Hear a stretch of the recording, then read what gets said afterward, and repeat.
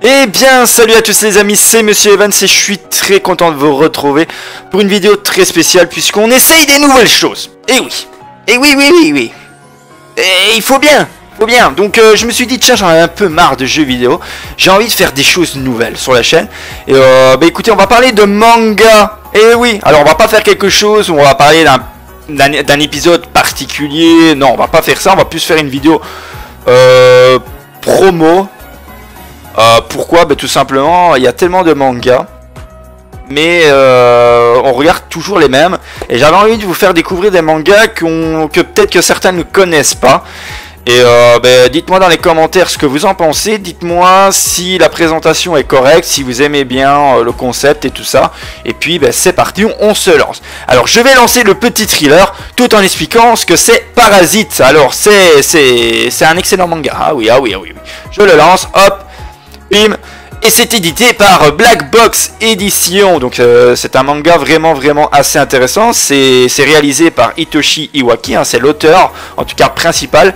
Euh, le nom exact euh, de Parasite en japonais c'est Tanabata no Kuni. Alors je sais pas si je le prononce bien en japonais, en tout cas j'essaye puisque j'apprends le japonais. Et bah, écoutez, c'est un manga franchement très sanglant. Alors si vous aimez euh, euh, si vous aimez Attack the Titan, vous allez kiffer en tout cas Parasite.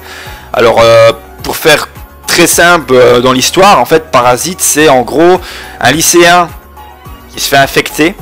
Alors à la base il devait se faire infecter au niveau du cerveau. Sauf que notre héros qui s'appelle Shinichi Izumi ben, réussit à se faire un garrot au niveau de son bras droit et donc ça empêche la petite bestiole d'entrer enfin d'arriver à son cerveau, et donc au lieu d'infecter son cerveau, va infecter son bras droit, et du coup, ben, le héros va perdre euh, son bras droit et va être habité euh, par un nouveau, un nouveau venu. Alors on ne sait pas trop ce que c'est ce, parasite. Est-ce que c'est une entité alien? Est-ce que c'est une entité divine? On n'en sait pas plus. Ça arrive comme ça. Alors euh, Shinichi va devoir vivre avec cette avec, avec cet handicap, hein, on peut le dire, puisque cette bestiole commence à avoir de l'intelligence, commence même à devenir autonome. Et donc, il pensait pouvoir vivre une chose normale, sauf que ben, d'autres personnes aussi est infectées et euh, ben, les personnes, euh, eux, sont vraiment affectées au niveau du cerveau. Donc le, parasite a réussi à aller au cerveau. Et donc ben, ces, personnes-là, malheureusement, ne sont plus humains. Et euh, pour se nourrir, ben, la seule chose qu'ils ont à faire, c'est bouffer d'autres humains. Et donc c'est là qu'on se pose des questions. Mais pourquoi Comment?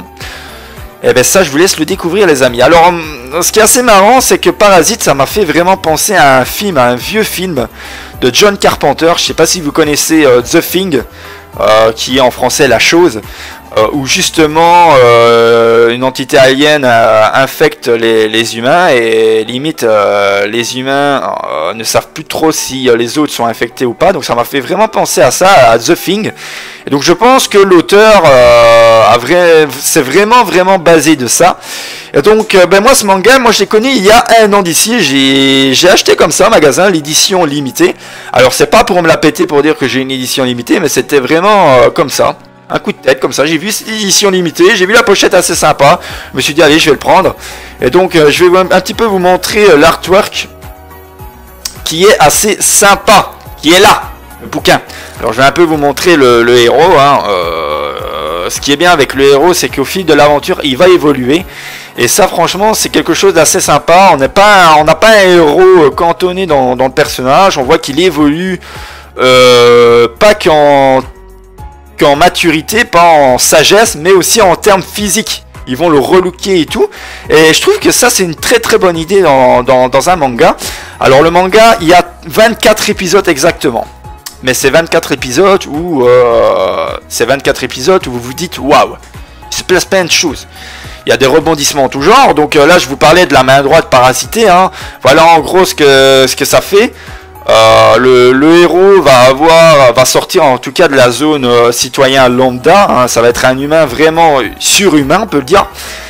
Et il va devoir vivre avec cette, cette main qu'il a appelée Migi. Alors Migi, c'est pour dire main, main droite hein, en japonais. Donc voilà, je vous ai appris un mot en japonais. Et euh, ben, euh, ce qui est assez sympa dans le manga, c'est qu'il traite des sujets assez durs. C'est pas euh, des sujets euh, gnangnang ou euh, c'est juste un lycéen qui se fait vraiment affecter bêtement, non.